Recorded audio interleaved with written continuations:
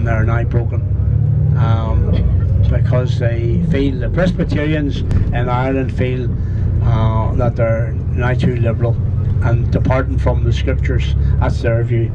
Anyway, there's the black man himself there. He's green, but we call him the black man, the Reverend Henry Cooke. And perhaps it's because of the Reverend Henry Cooke that the Union flag flies in this part of Ireland today. The building here was our technical college. It's now John Bell House, after the famous scientist John Stewart Bell. Uh, the, see, uh, our, our visitors, uh, our visitors, turn to the left, our visitors, Freddie, uh, they didn't know